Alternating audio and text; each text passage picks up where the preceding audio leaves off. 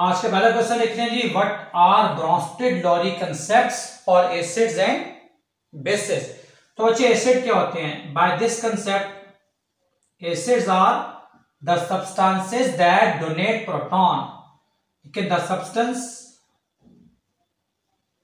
the substance that donate proton, that donate अच्छा बच्चे proton को हम केमिस्ट्री में बोलते हैं रिप्रेजेंट करते हैं H प्लस से। तो that donate proton is acid ना बच्चे भी लेक्चर बच्चे हमारा स्टार्ट हुआ? आज हमारा लेक्चर नंबर वन है। लेक्चर वन चैप्टर एट का acid base and salts and the question is what is Bronsted Lowry concept of acid and base तो बच्चे एसिड क्या? The substance that donate proton is acid What is base? The substance that accept proton. The substance that accept proton. जो proton को accept कर ले proton mean H plus proton mean H plus तो proton का acceptor base और proton का donor acid अब हम एग्जांपल देते हैं जी examples are if we take example of HCl, HCl hydrochloric acid reacting by water. तो when it react what happens? ये आपका एसिड है ये प्रोटॉन डोनेट करेगा वाटर को। ये प्रोटॉन डोनेट करेगा वाटर को। और बच्चे क्या बन जाएगा? वाटर के पास दो हाइड्रोजन है जब ये प्रोटॉन एक्सेप्ट करेगा तो ये बना देगा H3O प्लस और यहाँ से Cl बाहर निकल जाएगा। ये बना देगा Cl माइनस तो अब HCl प्रोटॉन डोनेट कर रहा है तो HCl का नाम हुआ एसिड और पानी प्रोटॉन एक्सेप्ट कर रहा है तो पानी का नाम हुआ बेस अब यहाँ से आगे हम आगे काम लेके चलेंगे। हमने डिफाइन किया जी एसिड क्या होते हैं बेस क्या होते हैं। अच्छा जब इसकी बात करें, जब इसकी बात करें H3O प्लस की तो उसको हम नाम देते हैं कॉन्जुगेट कॉन्जुगेट एसिड और इसका नाम है कॉन्जुगेट कॉन्जुगेट बेस हमने इनको डिफाइन करना है। आपने बहुत ध्यान से सुनना है टॉपिक बहुत समझने वाला है, बहुत ध्यान से। देखो, अगर आप यहाँ से वापस आओ, अगर आप रिएक्शन को बैकवर्ड लेके चलो तो मुझे बताओ राइट साइड पे H3O के पास तीन हाइड्रोजन है। राइट साइड पे H3O के पास तीन हाइड्रोजन है। जब ये वापस आया तो चेक करो, दो एच रह गए। तो क्या इसने प्रोटॉन डोनेट नहीं किया? बैकवर्ड आओ। तो इसने एक एच को लूज किया। जो एच को डोनेट करता है, वो तो एसिड है। तो चेक करना, इसका नाम रखा गया कॉन्जुगेट एसिड मतलब ऐसा एसिड जो बेस के प्रोटॉन एक्सेप्ट करने से बने। ऐसा एसिड जो बेस के प्रोटॉन एक्सेप्ट करने से बने। उसका नाम कॉन्जुगेट एसिड उसका नाम कंजुगेट एसिड और अब चेक करो सीएल राइट साइड पे सीएल के पास हाइड्रोजन नहीं है। अगर बैकवर्ड आए तो सीएल ने प्रोटॉन एक्सेप्ट किया हुआ है। सीएल नेगेटिव ने प्रोटॉन एक्सेप्ट किया तो एचसीएल बना। इसका मतलब ये बेस है। प्रोटॉन एक्सेप्ट कर रही है। तो हम ये कहते हैं, ऐसी बेस जो एसिड के प्रोटॉन डोनेट करने के बाद बने। लिखो डेफिनेशन नोट करना बहुत इंपॉर्टेंट हेडिंग दो कॉन्जुगेट एसिड क्या होता है? मेरी वर्डिंग पे ध्यान देना बहुत इंपॉर्टेंट है। द एसिड डेफिनेशन क्या बनेगी? The acid which is form by accepting proton by base देखो कंफ्यूज नहीं होना है। ये बेस है बेस प्रोटॉन एक्सेप्ट कर रही है तो ये बन रहा है। पानी ने प्रोटॉन लिया तो ये बना ना। और हम कह रहे हैं एसिड है। तो ऐसा एसिड जो बने बेस के प्रोटॉन एक्सेप्ट करने के बाद बेस के प्रोटॉन एक्सेप्ट करने के बाद कॉन्जुगेट बेस क्या होगी? कॉन्जुगेट बेस क्या होगी? देखो, ये कॉन्जुगेट बेस है, ठीक है? कैसे बनी?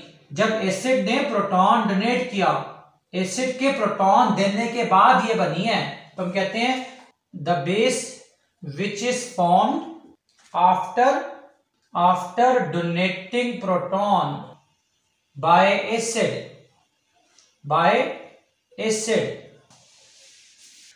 दो पॉइंट नोट कर लें जी।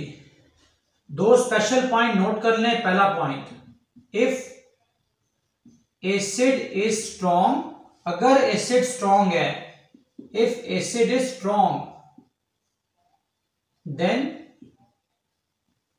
then it's conjugate base इस conjugate base is weak.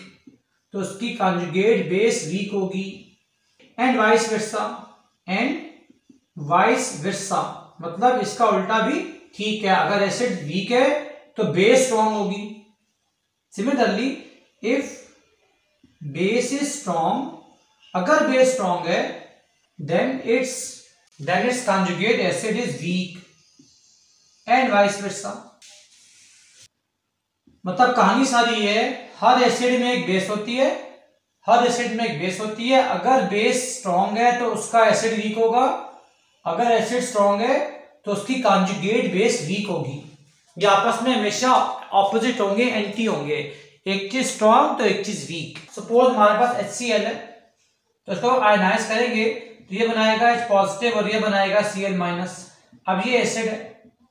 और उसकी बेस कौन है? एच नेगेटिव बेस है। नाम क्या है? कॉन्जुगेट बेस तो अगर ये स्ट्रॉन्ग एसिड है तो उसकी बेस कंजुगेट हमेशा वीक होगी। That's a rule that's a rule जी बच्चे, भैया मैंने बताया कि अगर एसिड स्ट्रॉन्ग है ना तो जो उसके अंदर बेस होगी ना, वो वीक होगी। और अगर एसिड वीक हुआ लाइक हमारे पास एस्टिक एसिड है, हमारे पास एस्टिक एसिड है, अब ये एक वीक एसिड है। ये एक वीक एसिड है। ऑर्गेनिक एसिड हमेशा वीक होता है। तो ये क्या बनाएगा? ये बनाएगा C H three C O O minus और बनाएगा एच प्लस तो ये इसकी बेस जो है ना कॉन्जुगेट बेस ये क्या चीज़ है जी? कॉन्जुगेट बेस तो अगर ये वीक है तो इसकी कॉन्जुगेट बेस क्या होगी? इसकी कॉन्जुगेट कॉन्जुगेट बेस स्ट्रॉन्ग होगी।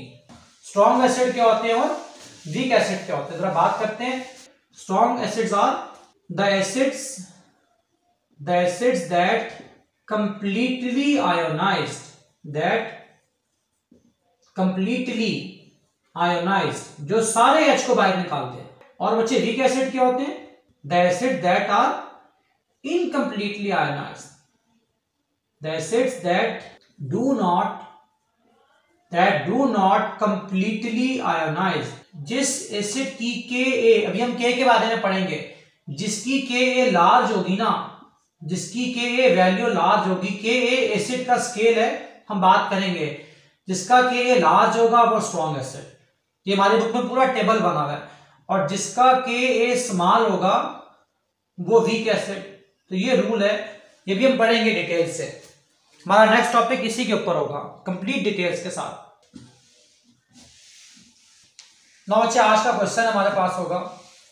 राइट अबाउट आयोनाइजेशन कांस्टेंट बहुत सिंपल क्वेश्चन है ionization constant for water for water ठीक है जी, इसके डिफरेंट क्वेश्चन है। सेकंड क्वेश्चन है राइट अबाउट सबका आंसर सेम होगा। Write about ionic product write about ionic product of water K W कहते हैं इसको। के डब्ल्यू सिंबल है। इसका सिंबल भी के डब्ल्यू है, इसका सिंबल भी के डब्ल्यू है। इन सब का आंसर एक ही है। तीसरा question prove that K W equals to H positive ion concentration multiply by O H negative ion concentration और ये भी आ सकता है prove that K W equal to ten power minus fourteen at twenty five degree centigrade इन सारे questions का एक ही आंसर है। और write question again prove that क्या प्रूव करना है जी आपने?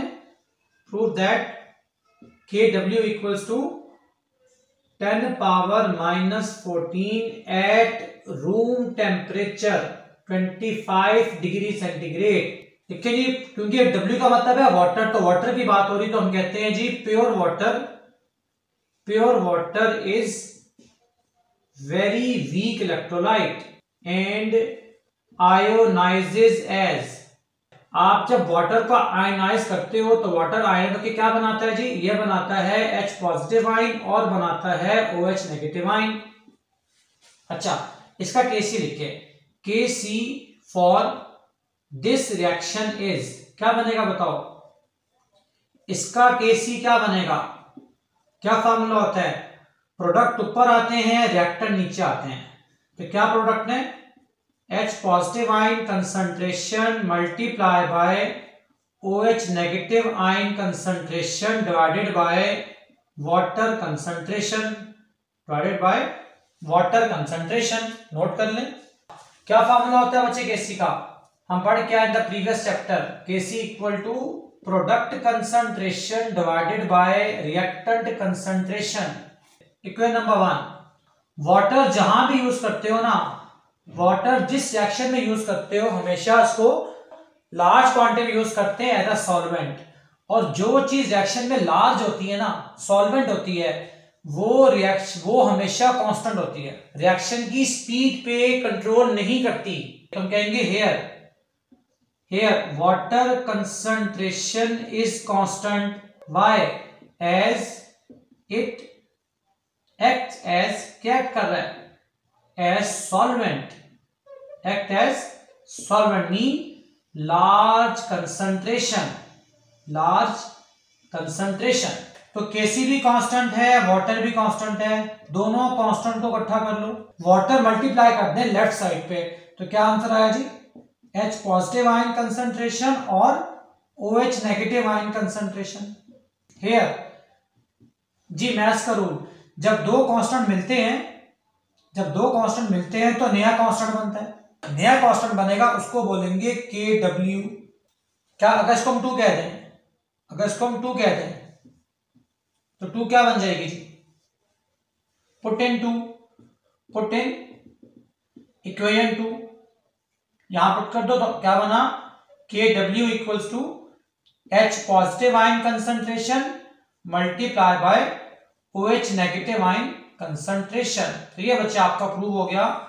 जो आपको मैंने क्वेश्चन नंबर थ्री लिखवाया था। ये आपका प्रूव हुआ। Equation number three K at 25 degree centigrade H positive ion की जो कंसंट्रेशन होती है, वो होती है 10 power minus seven and O H negative ion की कंसंट्रेशन होती है 10 पावर माइनस सेवन ये आपको वैल्यू याद करनी है। टेम्परेचर चेंज करोगे आंसर ये नहीं आएगा, बदल जाएगा। तो कांस्टेंट टेम्परेचर पे रूम टेम्परेचर पे इसकी वैल्यू फिक्स है। टेन पावर माइनस सेवन क्योंकि पानी न्यूट्रल है तो जितने H पॉजिटिव आइन होंगे, उतने ही ओ OH नेगेटिव आइन होंगे। इन दोनों को यहाँ डाल दो। Put in three put in equation three तो आपका प्रूव हो गया। चेक करें जी। के डब्ल्यू इक्वल टू क्या बच्चे आंसर है प्लस का? Ten power minus seven O OH का आंसर क्या है?